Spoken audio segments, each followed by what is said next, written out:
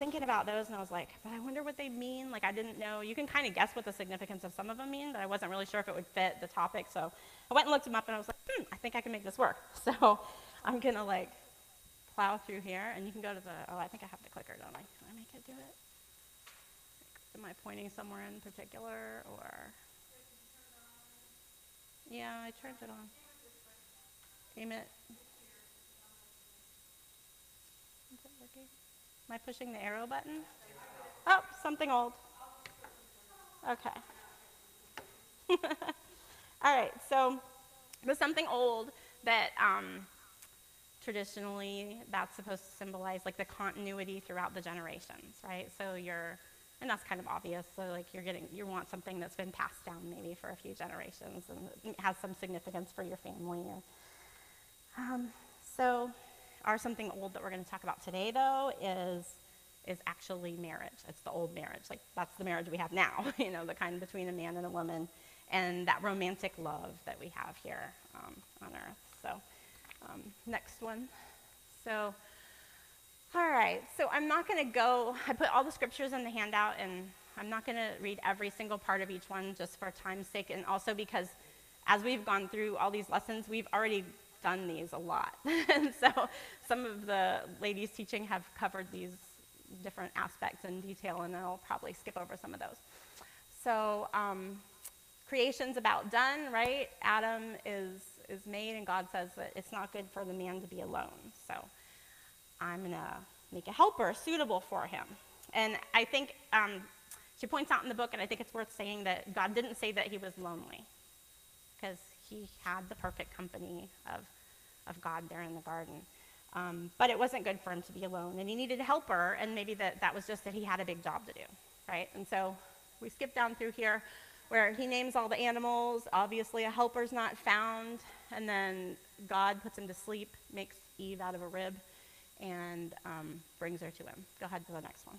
And so, but I'm still wondering what was that big job because I can never kind of keep that in, our, in my mind. What is the job?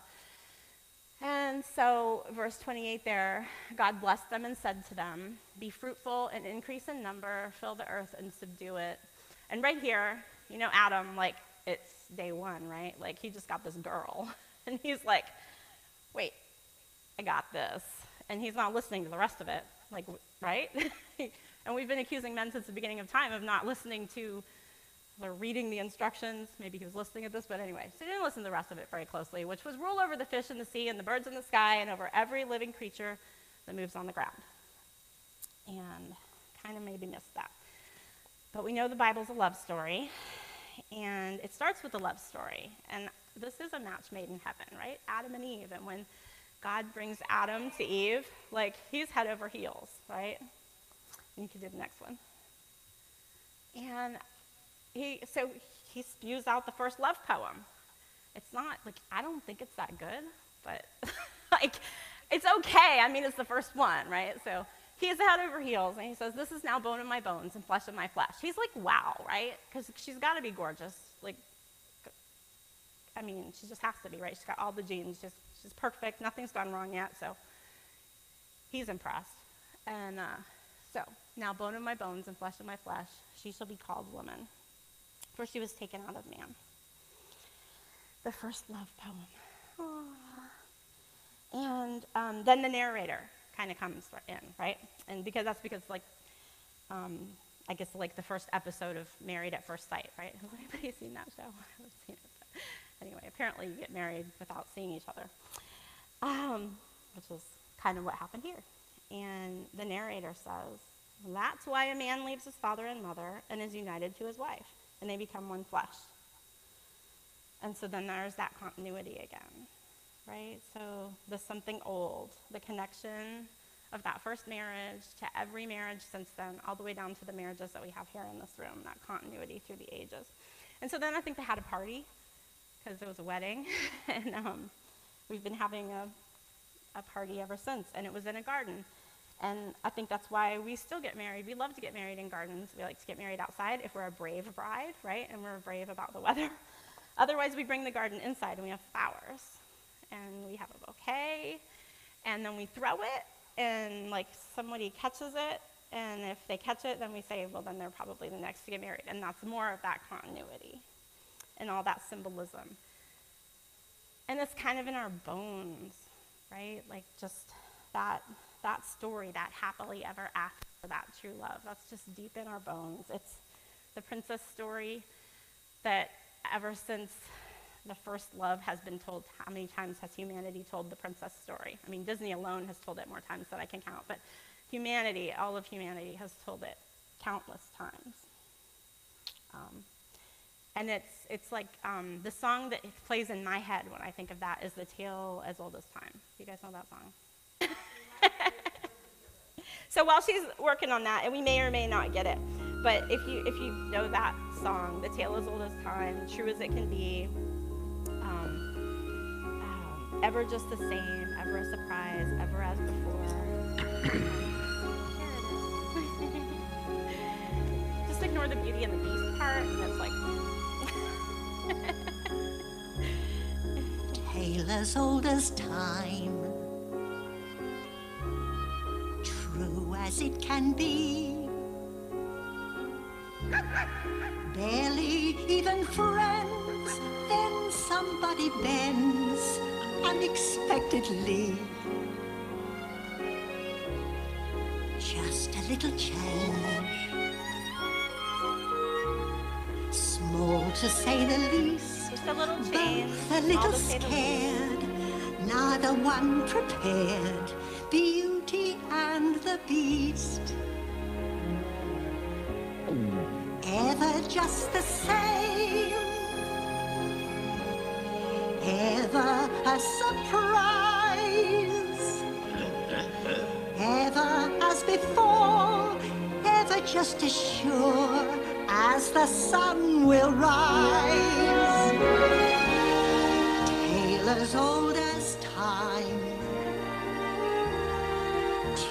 as old as song, bitter, sweet, and strange, finding you can change, learning you were wrong, certain as the sun. Rising in the east, tale as old as time, song as old as rhyme, beauty and the beast. Okay, that's good.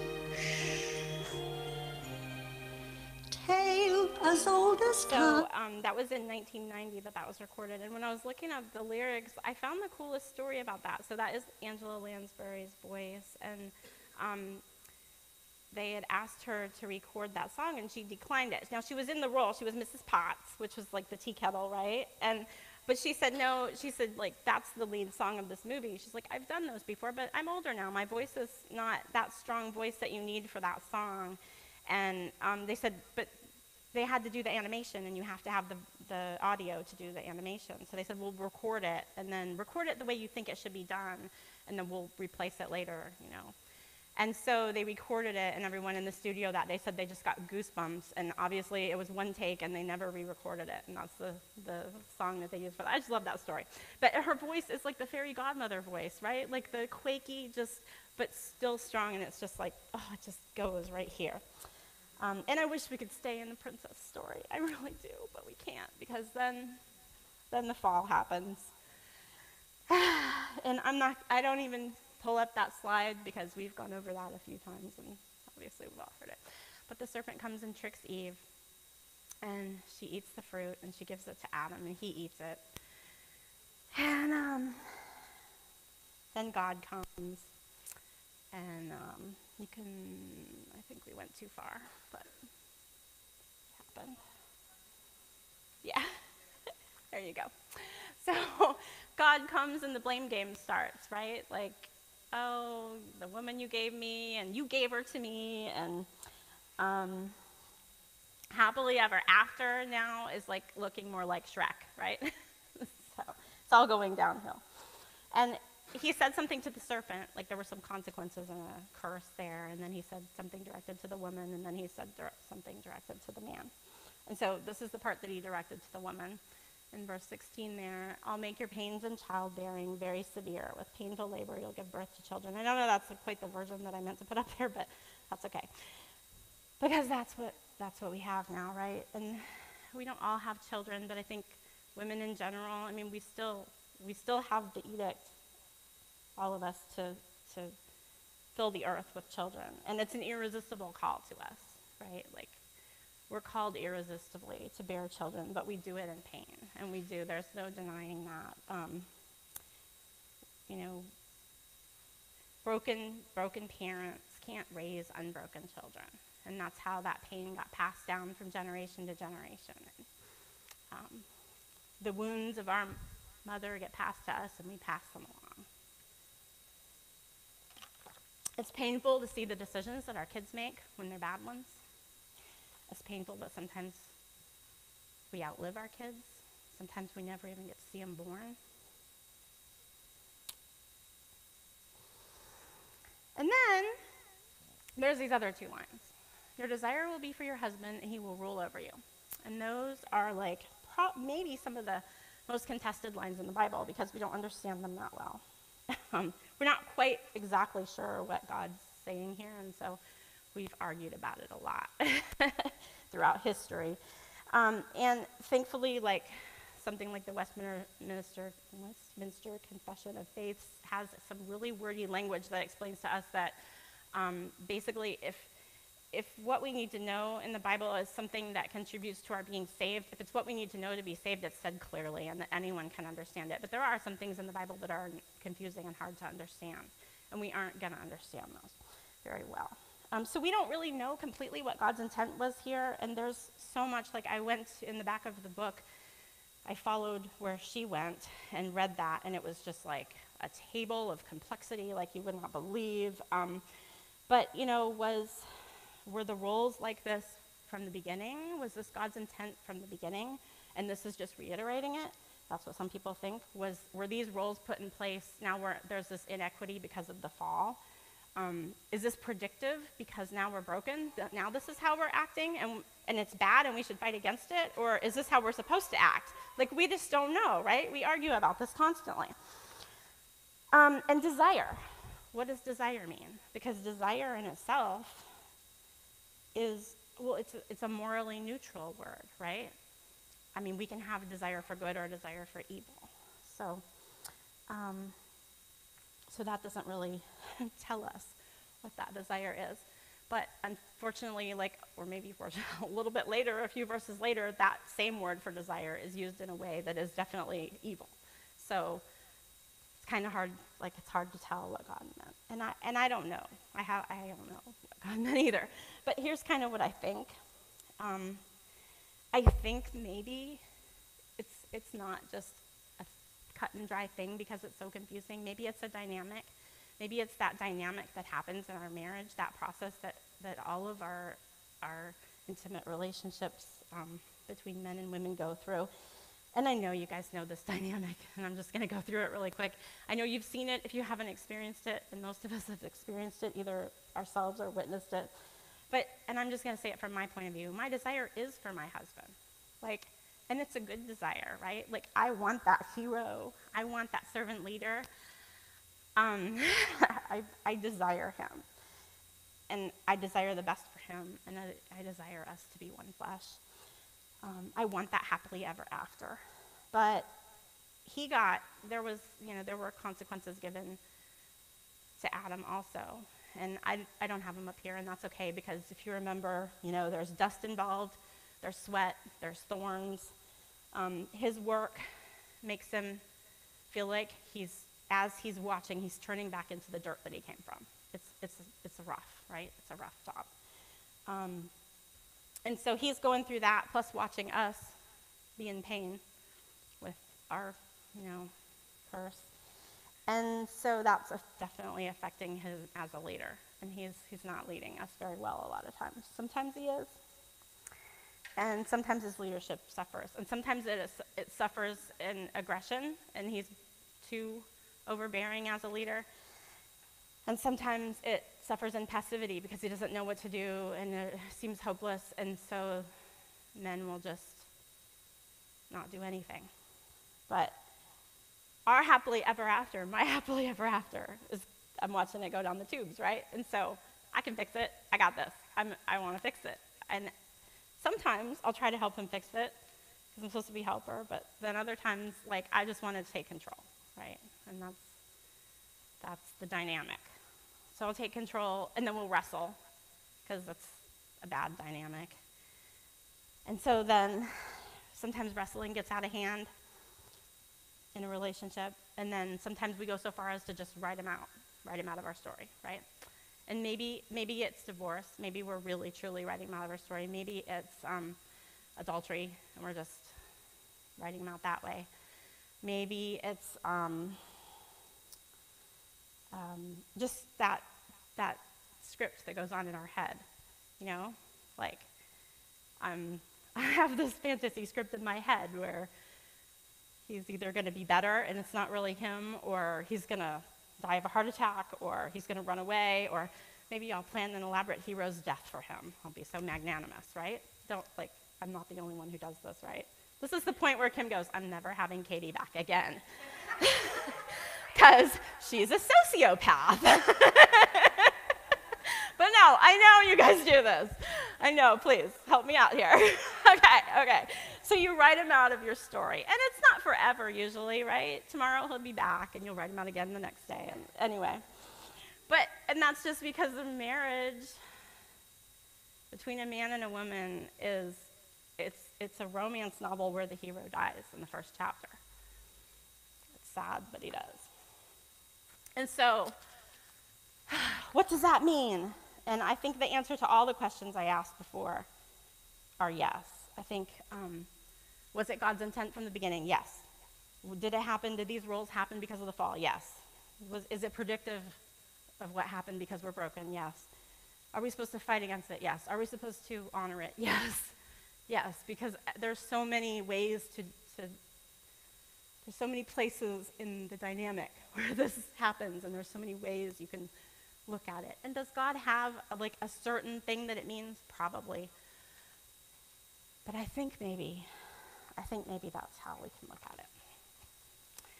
Um, that it's just our marriage is just confusion here, right? Okay, so we need some hope. So, next slide, please.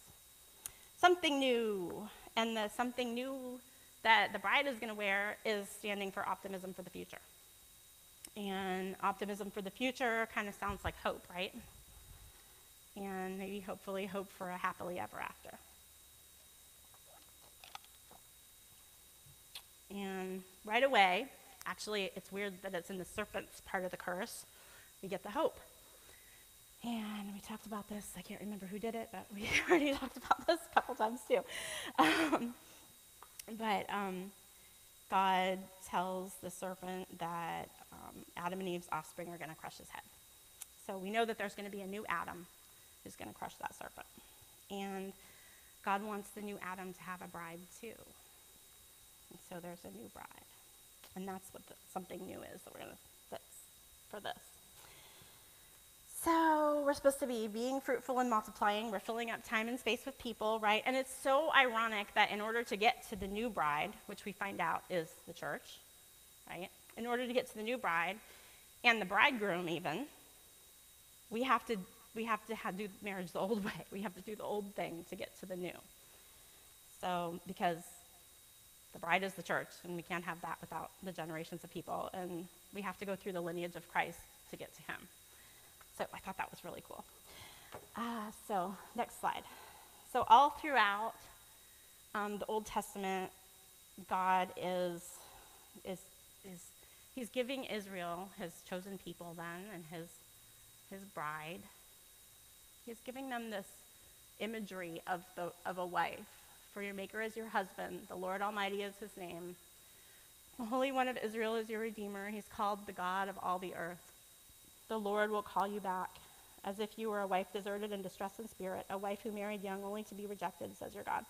For a brief moment I abandoned you, but with deep compassion I'll bring you back. In a surge of anger I hid my face from you for a moment, but with everlasting kindness I'll have compassion on you, says the Lord your Redeemer.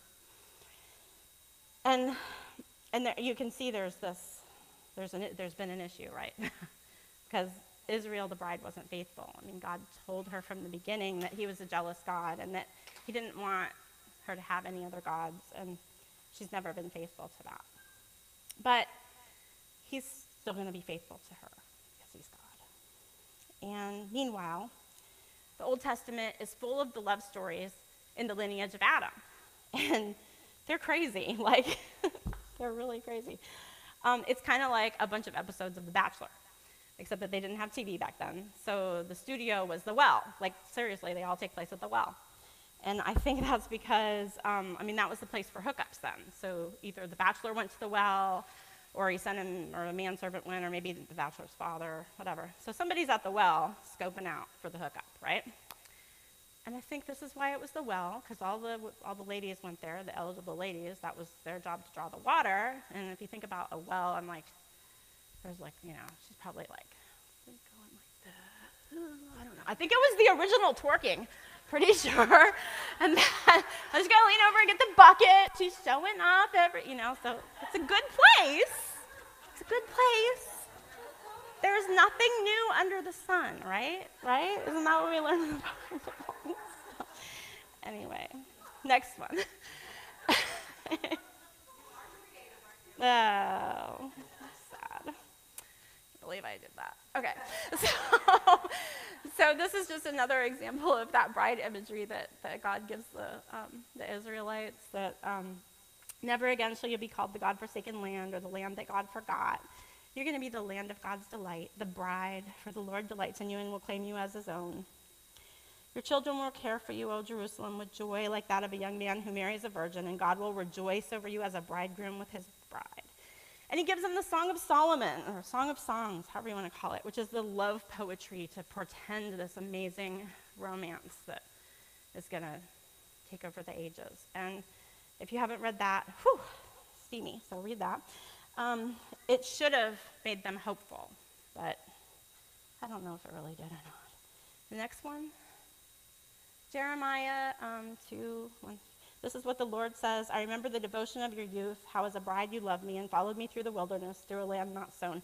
And I think this is kind of funny because somehow God is remembering Israel fondly during that time, but I just remember them being really whiny and like they really weren't that faithful then. Even then, they made like idols and stuff. So I don't know, but he he's remembering them fondly. So he gives them Hosea, which is this amazing word picture of the bride and the groom, where oh, what does he call the prophet thingy? He has to go and marry this whore of whoredom, and like she's like the bottom of the barrel. Like she's been, she's not just a whore; she's like a used up whore. And he buys her, and then he marries her, and he says he's, you know, and then he's faithful to her. And of course, she's not faithful, but it's the picture. It's the picture of God being faithful to the bride. And so God's showing them this amazing future, that there's still a future and a hope for them But, like a tragic episode, um, like of the real housewives of Israel. They just they don't believe it. They can't see past the fact that it has the engagement has gone on too long. It's been like 400 years, you know, like, and after all that time, like her dress is a mess, you know, like seriously a mess. So we have to fix that. Next slide. And so we need something borrowed. And I'm going to talk about something borrowed, not in the sense of like normally something you borrow is something you get back, right? But there's quite a few senses of the word borrowed where you don't give it back. Like if you somehow like I can borrow your friend's condo, and you know you somehow have access to it. um, wish I had that. But you have a condo, like on the beach. No, anyway. So, or there's like borrowed time, like time that you don't necessarily deserve, or like you have it unexpectedly, but you're not going to be returning it, right? um, like the lexical borrowing, like in language, where like we, this is borrowed from the Latin for whatever. Um, and there are kind of strange, curious uses of that word because the lender doesn't really use, the lender does not lose the use. Wow, that's hard to say. The lender does not lose the use of the item, and the borrower does not intend to give it back. So that's, that's the use that I'm talking about here. And the something borrowed traditionally is borrowed happiness, which is also something that kind of falls in that category. And so unhappiness sounds like joy to me. And so I want to go there. And also, borrowed makes me think of imputed, which is like credited, and that's what happens. That's, that's what happens with Christ's righteousness. It's credited to me. Um, Okay, so we know a wedding is planned, that we don't have a dress, right? The bride's in no condition for the wedding. She desperately needs a dress, and not just any dress, so let's go there. Uh, let us rejoice and be glad and give him glory, for the wedding of the Lamb has come, and his bride has made herself ready. Fine linen, bright and clean, was given to her to wear. So notice that, that it's a gift, right? And then fine linen stands for the righteous acts of God's holy people. And so there's the rub is that she only has access to the dirty rags that she's got on. And without the dress, there can be no wedding. Thankfully, the bridegroom has been busy. He's preparing the engagement gift. Anybody get an engagement gift? I never got an engagement gift from my husband. Well, yeah, I guess. Yeah, so he's um he's preparing that, and she is gonna have the ultimate bridal gown, like um. We heard last was that last time? Yes, the clothing. She's going to be clothed in immortality. And her gown was purchased by our bridegroom and he paid for it with his blood. And all we have to do is accept the dress, accept the gift, right? Say yes to the dress. all right, so there's another thing we have to, or we, we can borrow from our bridegroom. It's his, his viewpoint. And this happens gradually, right, over our lifetime. But we can't imagine that we're loved the way we are. It's that rags to riches story, you know, like Annie just can't believe that Daddy Warbucks could actually love her. Um, we can't imagine this new kind of marriage. We only know the one that we have with a man and a woman. This one is strange. Like it sounds really weird to us, right? We know that marriage will be different. Next slide. In heaven, because it says there, Jesus tells us in Matthew that we're not going to be, he's settling a argument, I think, if I remember right. And we're not going to be marrying or given in marriage. Yeah, it's this long, drawn out thing with brothers and who gets the bride neck or the. So,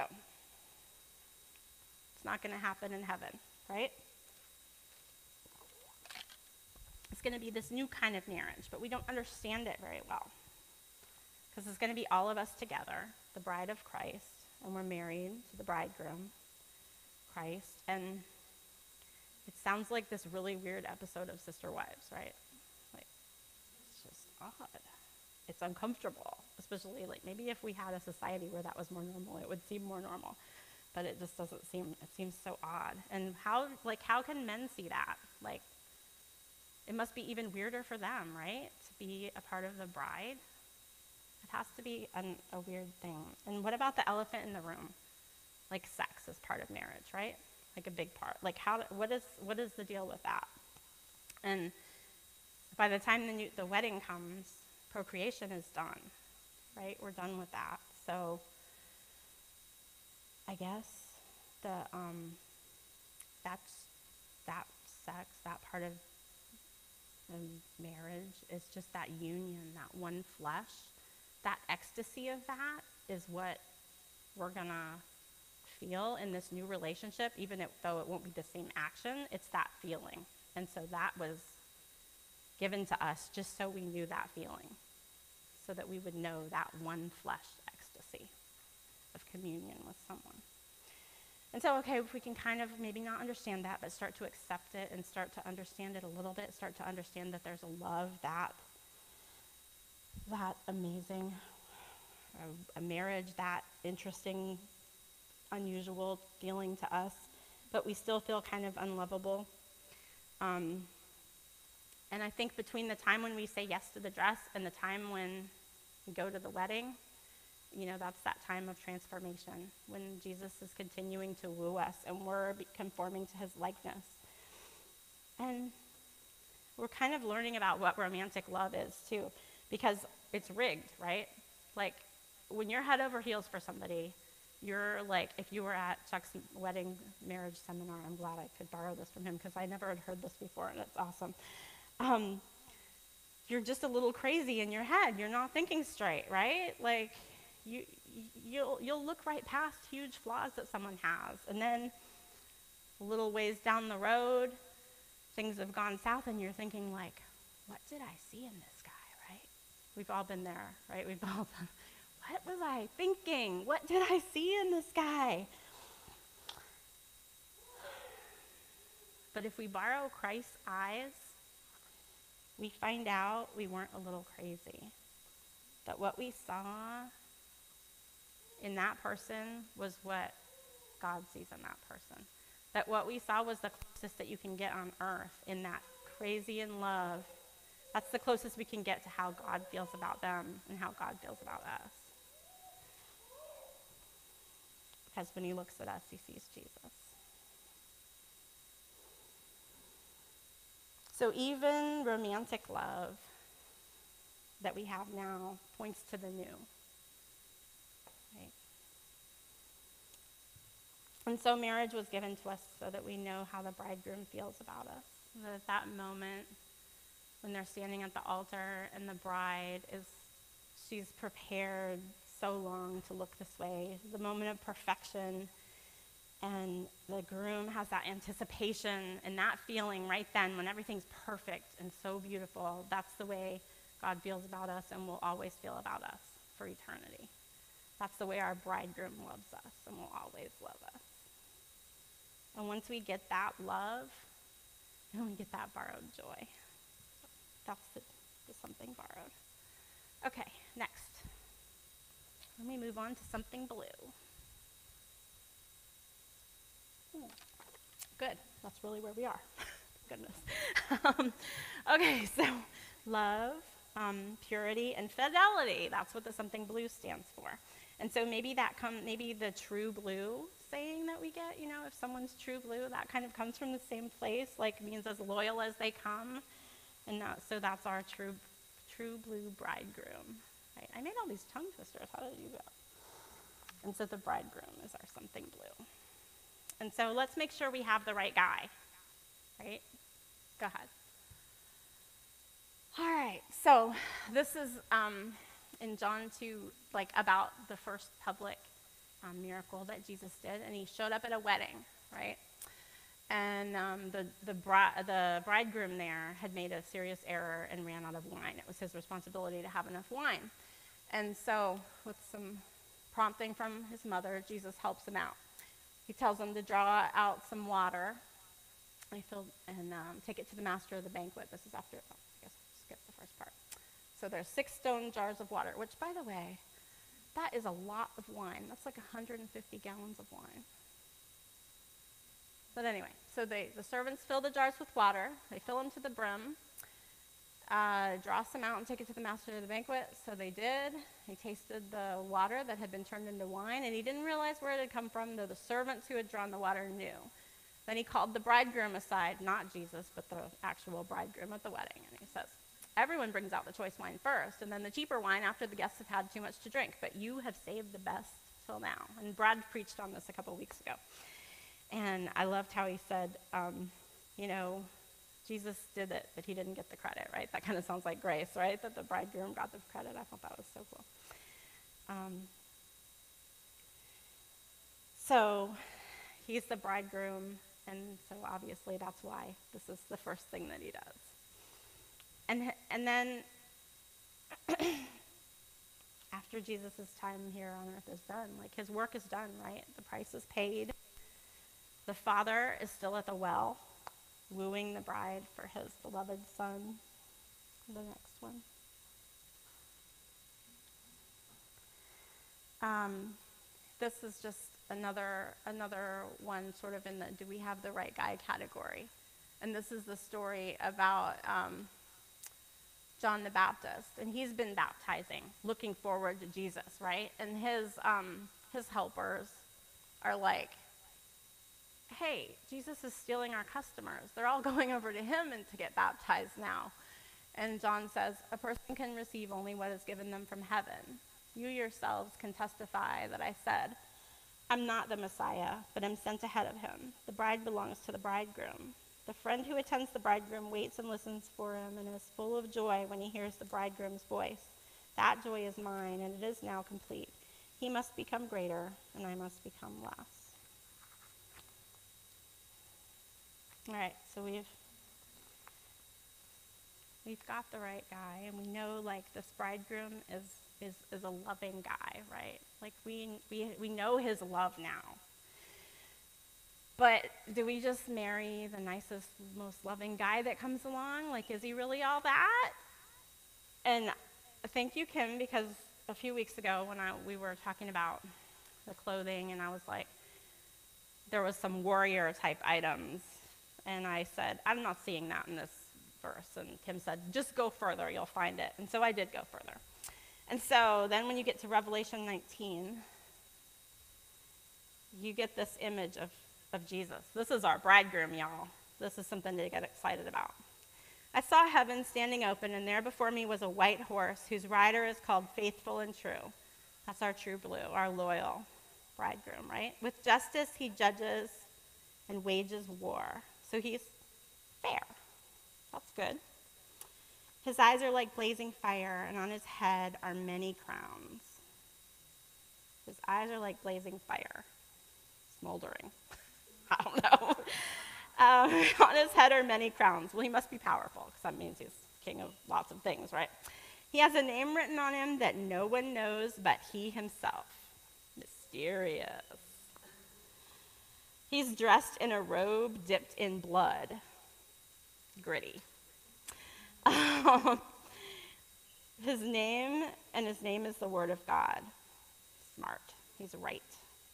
The armies of heaven were following him, riding on white horses and dressed in fine linen, white and clean, deep pockets. Coming out of his mouth is a sharp sword with which to strike down the nations. Well spoken? I don't know what that means, but that's what I'm going to. He will rule them with an iron scepter. He treads the winepress of the fury of the wrath of God Almighty. On his robe and on his thigh, he has this name written King of Kings and Lord of Lords. I'm going to say he's all that. all right, next slide. I'm almost done. I know, I know, right? Like, I never read that like that before. I was like, whew, okay. and a silver sixpence in her shoe, which is kind of for good luck. But then I also read a little deeper, and way back, it was to show that her father the bride's father, wishes her prosperity in her marriage. And I thought, oh my goodness, what father could wish more prosperity for us, for us as a bride in our marriage than our father? That's like, he's going to throw the most expensive, extravagant wedding celebration of all time, right? So the last one there. Then I saw the new heaven and the new earth. Like, there's a whole new heaven and earth for this wedding. Like, for the first heaven and the first earth had passed away, and there was no longer any sea. I saw the holy city, the new Jerusalem, coming down out of heaven from God, prepared as a bride, beautifully dressed for her husband. And I heard a loud voice from the throne saying, Look, God's dwelling place is now among the people, and he will dwell with them. They will be his people, and God himself will be with them and be their God. He will wipe every tear from their eyes. There will be no more death, or mourning, or crying or pain. For the old order of things has passed away. He who was seated on the throne said, I'm making everything new. Then he said, Write this down, for these words are trustworthy and true. This is the real happily ever after, y'all. okay. So we're going to split up into some small groups. And I have written down a bunch of questions. It's kind of like that game that maybe you've played at a bridal shower before where like you found tried to find out things about the relationship between the bride and the groom like sharing some stories and so that's that's what it is you're the bride christ is the groom you're all going to share um, but some of the questions are hard but there's a whole bunch of them and some of them are just easy and fun and so you can you don't have to feel like you have to answer every single question and i just want to say you know some of us are 90 day brides And I, I shouldn't say that either because I don't even know what that show is. But I'm assuming it means that, you know, it happened fast. And maybe, maybe we haven't known Jesus very long. And then others of us, like, we've maybe been engaged since our youth. And we've been cheating ever since. And I'm not sure which of those is harder to talk about. Like, if you're a new bride that's really unsure, or if you're just a bad bride, you know. um, but I just want you to know that um, that your story your story is okay because you're the beloved, and so just love your story and don't be afraid to share it. And it's a gift you can give each other. And I know that everyone here will be respectful of your story. And so I just encourage you guys to dig deep into those questions. Okay, thanks.